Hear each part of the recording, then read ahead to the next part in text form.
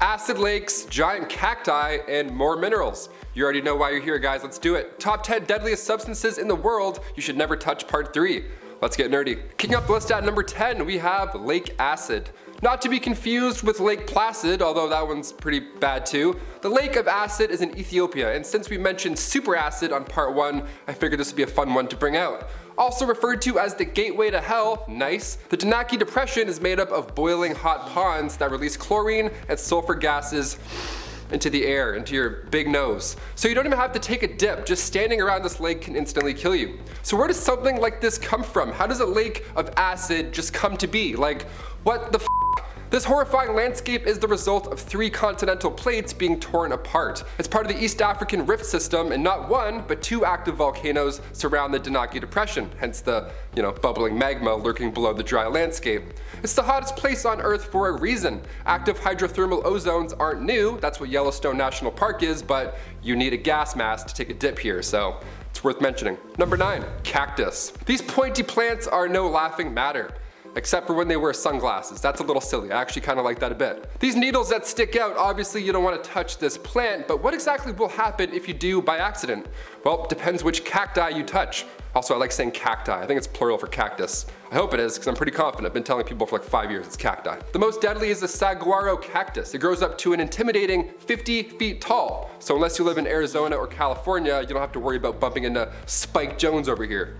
These needles are of course massive, but what really sucks is the toxic sap that enters your bloodstream. So if you're handling this cactus for some reason, you need to use gloves. There's also a cactus that straight up jumps at you, like it moves, bleep, it jumps. How scary is that? Back in 2014, during the PGA Golf Tour in Arizona, Rory McIlroy accidentally hit a golf ball straight at a cameraman right in his chest, which already sucks, but when he stepped back after being struck by Rory's golf ball, again in the chest, Cholla Cactus attacked him.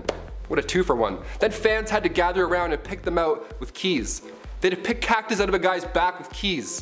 That's amazing, what a horrible day. That's why you don't watch live golf, you're in the middle of nowhere. And also, you're watching live golf. Number eight, yew. It literally has the word ew in it, so you shouldn't forget this one. It's also referred to as ground hemlock, and despite how they look, these are not berries. They're cones, almost, or bells. They're evil, they're poison, they don't look appetizing. To kids though, anything bright that glows on trees, they're like, also bell. So they'll eat it. It's dangerous. They're actually like the main target. We gotta watch out for that. They often don't think twice. The main toxin that we're playing with when it comes to you and your you is Taxol. Taxol is commonly used in chemotherapy. Right now we're at the point where we're making these in a lab because their populations haven't exactly sprung back into action. We kinda need them right now. They're making you in a lab. Yeah, they're making you in a lab. I'm talking to you, dude. If you ingested Taxol, you're minutes away from having a bad night. Either hypothermia, seizures, respiratory failure, you might actually go into a coma. It's really not good at all in any sense. Stay away from it. It only takes half a gram of these flat pointy needles to kill you. So just avoid all that smoke in total. Number seven, holly. There's nothing holly and or jolly about these berries. Another common red berry is the American holly, aka Ilex opaca, which sounds more evil. It's a tasty treat for birds, but like a lot of us probably don't realize is our feathery friends can eat poison pellets all day long and never skip a whistle. They're just hashtag built different. Humans, however, if we ingest a holly jolly holly, we're welcoming in an alarming amount of toxins. You're also ingesting ilicin, which is a straight path to vomiting, nausea, all that nasty huh, huh stuff. Normally I wouldn't include holly on a list like this, but tis the season. The more you know. Number six, golden frogs. One of the world's deadliest substances comes from the cutest amphibian, frogs. Don't let his little wet hands and tiny smile fool you. This guy is nothing but trouble. Or rather, the alkaloid on their skin is. So if you're catching frogs on the weekend in humid forests of Colombia, as we all do, leave the golden frogs alone. A Super Mario star will not pop out when you catch it. Instead, the batrachotoxin will interfere with your sodium ion levels in your nerves, resulting in your heart failing. We mentioned that LD50 scale before, that's the lethal dose table and it tells you which toxins are worse than others, and how many milligrams of the substance kills 50% of the test subjects. Batrachotoxin on the LD50 is only 2 micrograms, so 2 grains of salt really, that's the size that we're talking about, that can kill you. The interesting part is, it's not the frogs that produce these toxins, but rather lab-born frogs. These ones aren't poisonous, meaning that it comes from their natural diet somewhere. American ornithologist Jack Dumbacher was in contact with a hooded Pitohui, that was the bird that I mentioned on part two, and after he touched his mouth, it instantly started to go numb. So something in both these animals' diets is making them supervillains. Isn't that lovely? What is it? Tell us. Number five, the electric eel.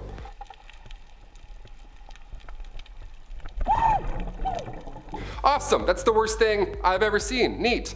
The moray eel, first of all, don't do what he just did. Don't go up to a random eel and start rubbing it like it's a genie lamp. It's not a smart move. That was the moray eel. That one can bite your fingers off and you should never touch eels in the first place because a lot of them are electric. As its name suggests, these type of eels can mess you up even if you were to get the first hit. Specifically the newly discovered 2.5 meter Electrophorus volti. Great name, gets to the punch. Appropriately named after Alessandro Volta, the guy who invented the battery. Cool. It can release a shock up to 860 volts, which is more than seven times the voltage of a wall plug. A swimming wall plug that gets hungry and has teeth. See ya. Number four, blister beetles. Nice, that's a great name, blister beetles. I want to avoid this beetle right away. The blister beetle is chock full of cantharidin. It's also seen in the Spanish fly. See, back in the day, like when you know we didn't know much, medical experts would use cantharidin to introduce blisters. That was a common remedy, I guess. These little bugs have this poison inside of them. Blister beetles are tiny and they often sport a metallic green or blue wing cover. If a bird tries to eat one of these, stick around because it will not stay down. That beetle will come right back up and then continue on his little little beetle business, whatever they do. Probably something to do with tax forms, I would assume. On the outside, cantharidin causes a dermatitis reaction, and if you had the misfortune of swallowing one of these bugs, like that sad bird, it could very well be your last meal. Back in the 1800s, people would ugh, lick them. Uh, don't lick bugs, if I had to tell you that. Now you know. Hit that thumbs up for not licking bugs. Spread the word. Number three, the cow killer. If you see a hairy red and black bug of any kind, don't pet it, okay? like just, don't, this is a horrible list. Like, don't do any of these things. The eastern velvet ant, AKA the cow killer, isn't actually an ant. Spoiler alert despite what I you know just said. It's actually a wasp. The female is wingless, so it looks like an ant. But don't let that get to your head. Her sting is extremely painful. She doesn't get along well with her own type. That's how mean she is. These cow killers are usually found riding solo rather than nesting with, you know, hundreds of other friends. Here's the most evil thing about this wasp slash ant slash hairy creature from hell. It's a parasite to bumblebees. We're trying to save bees, meanwhile these females are laying eggs in beehives in order for the wasp to be born and then immediately have it all you can eat breakfast. That is sad, but also it's nature. Nature sucks sometimes. If you have the misfortune of stepping on a cow killer, two things will happen.